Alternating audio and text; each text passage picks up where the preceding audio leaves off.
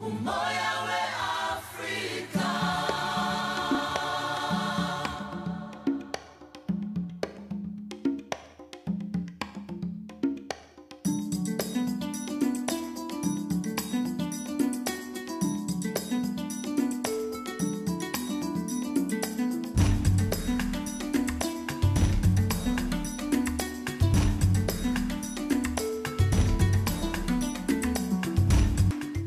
Gestern sind Günther und ich in Dar es Salaam, der größten Stadt von Tansania, angekommen. Bereits in der Schulzeit hatte uns der Film Serengeti darf nicht sterben von Bernhard Schimek begeistert. Wilde Tiere in großartiger Landschaft haben uns schon immer wie magisch angezogen. Doch hat das ostafrikanische Land außer der Serengeti, dem Ngorongoro-Krater und dem Kilimanjaro noch mehr zu bieten? Im Südosten soll es vier Wildreservate geben, die kaum bekannt sind. Können diese mit dem Tierreichtum und der Artenvielfalt der Serengeti mithalten? Eine Reise ins Unbekannte mit vielen offenen Fragen hat begonnen. Der Mikumi Nationalpark ist der viertgrößte des Landes und hat in etwa ein Fünftel der Fläche der Serengeti. Vegetation und Landschaft sollen vergleichbar sein.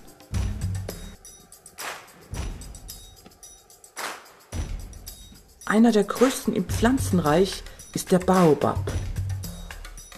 Der Affenbrotbaum kann bis zu 2000 Jahre alt werden. Wir sind mit zwei weiteren Touristen auf der Pirsch.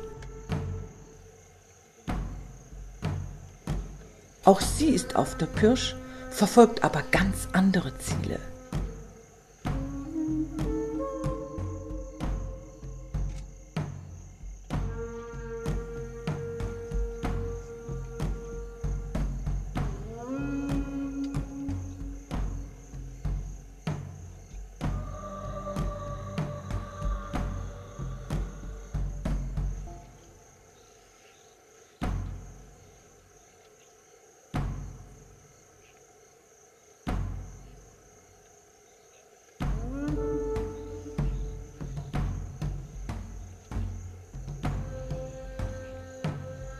Dieses Mal ist das Warzenschwein noch einmal davongekommen.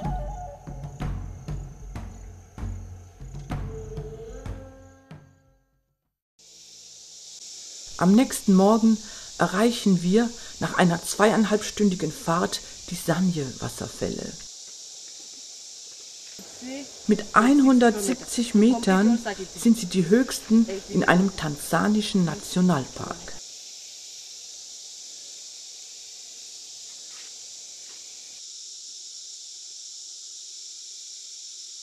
Oberhalb des großen Wasserfalls gibt es noch einige kleinere zu erkunden.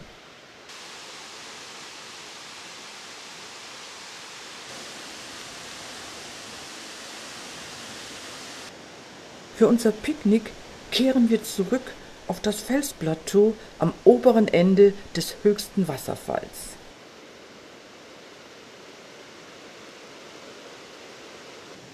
Weit geht unser Blick in die Kilombero-Ebene bis hin zum Mikumi-Nationalpark.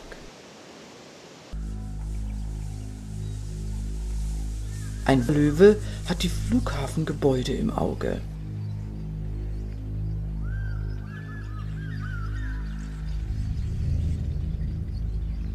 Jetzt gilt es vorsichtig zu sein.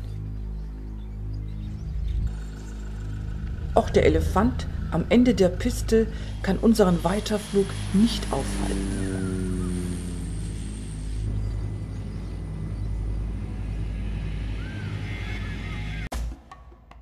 Nach der Landung ging alles sehr schnell. Unser Fahrer wollte uns an einer außergewöhnlichen Tierbeobachtung teilhaben lassen. So nahe sind wir noch nie an einen Leoparden herangekommen.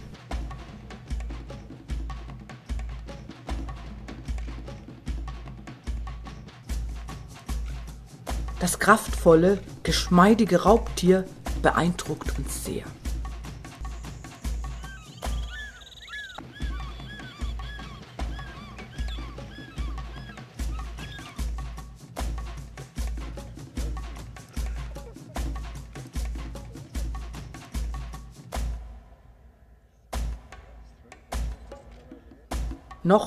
Sind die Löwenkinder mit der Milch zufrieden.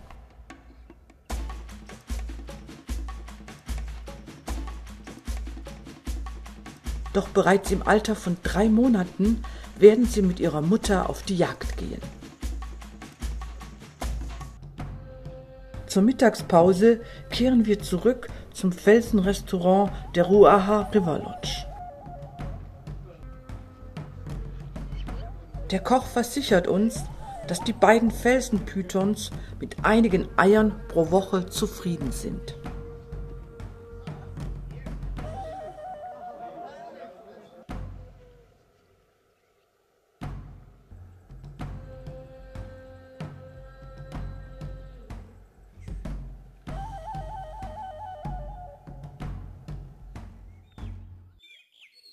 Wir hatten eine ruhige Nacht.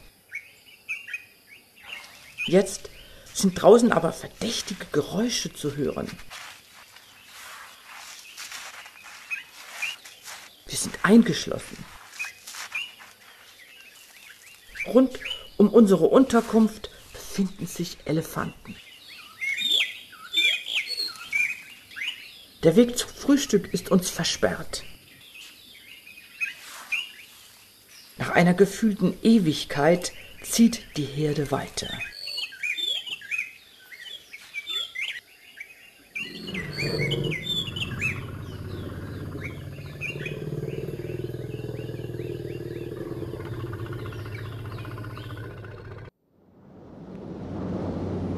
Auch wir machen uns auf und erreichen das Selou Wildschutzgebiet. Es ist das größte in Afrika und noch ein Drittel größer als die Schweiz. Selbst die Fläche des Serengeti würde viermal hineinpassen.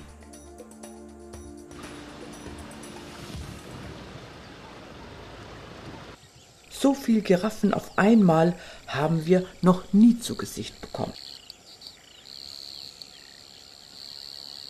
Heute will Hamidi uns zu einem ganz besonderen Ort bringen. Er führt uns zu den versteckt gelegenen idyllischen Takalala Hot Springs. Mehrere Pools mit Wassertemperaturen von 25 bis 35 Grad laden zum Baden ein.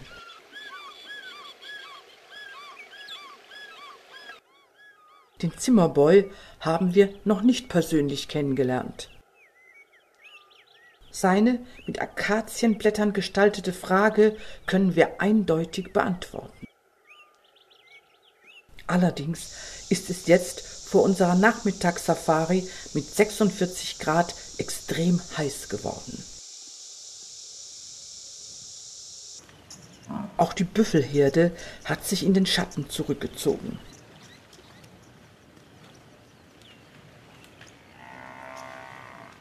Die Löwen lassen sich durch die Hitze nicht von ihren Aktivitäten abbringen.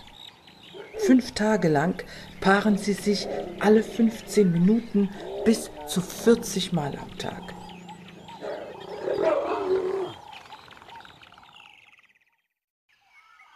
Spannend zu werden verspricht eine Fußsafari.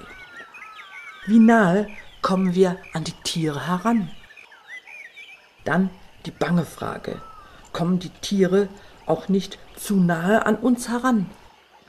Godfrey gibt uns einige Verhaltensregeln mit auf den Weg.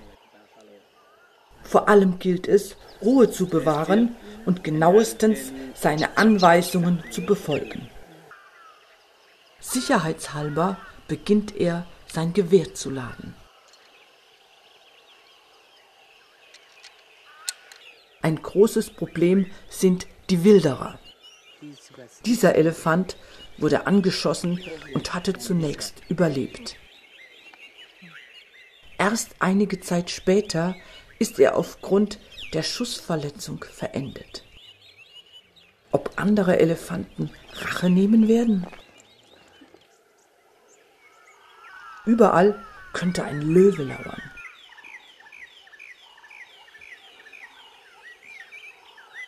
Dann haben wir unser Ziel fast erreicht. Am Seeufer wurde ein Fahrzeug deponiert, das uns zurückbringen soll. Nach über drei Stunden abenteuerlichen Fußmarsches können wir die Ruhe und paradiesische Einsamkeit genießen.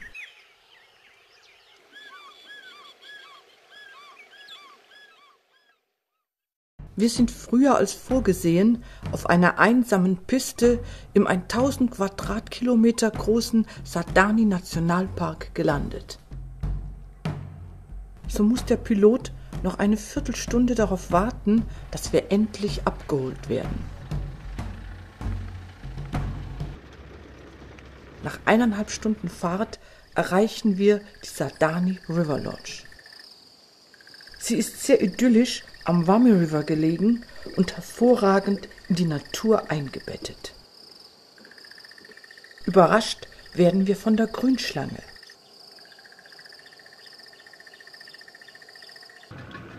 Am nächsten Morgen unternehmen wir mit Gilbert eine Bootsafari auf dem Wami River.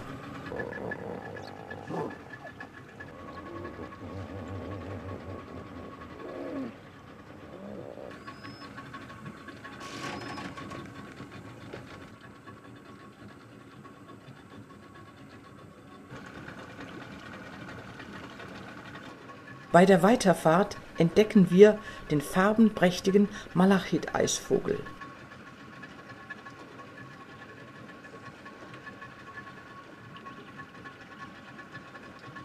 Am Ende unserer Bootsafari zeigen sich uns zwei Graufischer.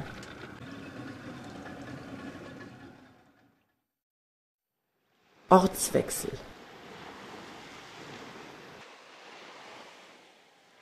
Der Sardani Nationalpark ist das einzige Naturschutzgebiet in Tansania, das ans Meer grenzt. Wir wohnen für die nächsten fünf Tage in der Nähe eines kleinen Fischerdorfes. In unserer Unterkunft am Meer erhalten wir nachts Besuch. Es ist eine neugierige Wildkatze. Die Ginsterkatze beeindruckt uns sehr mit ihrer tollen Feldzeichnung. Eine weitere Überraschung hat diese Löwin für uns parat. Sie hat ihren Nachwuchs abseits vom Rudel zur Welt gebracht und bleibt noch einige Zeit von diesem getrennt. Vor uns haben beide keine Scheu. Sie marschieren hautnah und furchtlos an unserem Auto vorbei. Doch jetzt sitzen wir fest. Es geht weder vor noch zurück. Wir sind ganz allein auf uns gestellt. Das Getriebe sitzt auf. In einer Stunde wird die afrikanische Nacht über uns hereinbrechen. Weder Wagenheber noch Äste scheinen zu helfen. Eigentlich wollten wir vorwärts aus dem Loch herauskommen.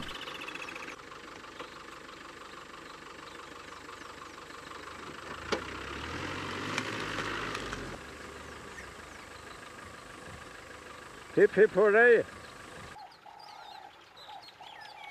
Auch jenseits der Serengeti gibt es in diesem ostafrikanischen Land noch viel zu entdecken.